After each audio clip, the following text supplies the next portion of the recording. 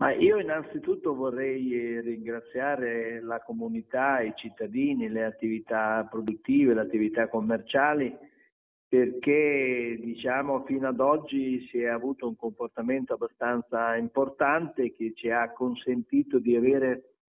eh, diciamo una situazione tutto sommato abbastanza sotto controllo.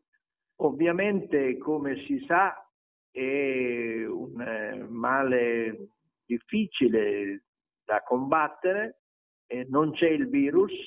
e quindi bisogna evitare di costringere i sindaci a fare provvedimenti eh, di chiusura contro assembramenti e attività varie. Bisogna quindi rispettare rigorosamente le norme, le leggi, i regolamenti, i provvedimenti eh, che consistono sostanzialmente in primo luogo a, ad avere sempre la mascherina, soprattutto lo rivolta ai giovani,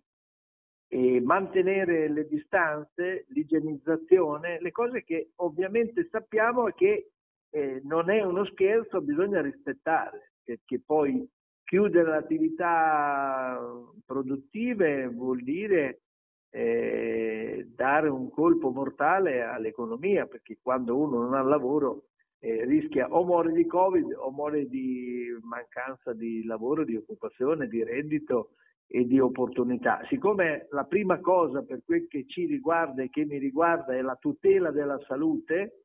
e in primo luogo l'obiettivo del binomio lavoro-salute, perché noi puntiamo come sempre anche in questa fase drammatica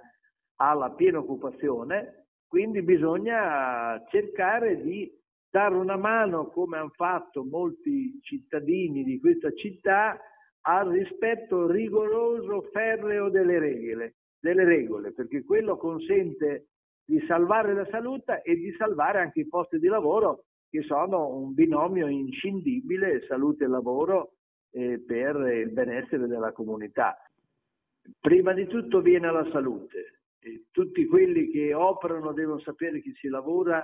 nei termini previsti dalle norme e la tutela assoluta della salute e la tutela del lavoro, che è un diritto eh, importante, per fortuna qui sono molte le attività che hanno idea di potenziare le loro fabbriche, hanno già ritirato le concessioni per creare nuovi posti di lavoro perché avere la piena occupazione eh, per noi è molto importante. Gli eventi si fanno se si possono fare, qualsiasi attività eh, si può fare, ma si può fare non facendo assembramenti, con gruppi molto ristretti e avendo quell'attenzione perché prima di tutto bisogna salvare la vita.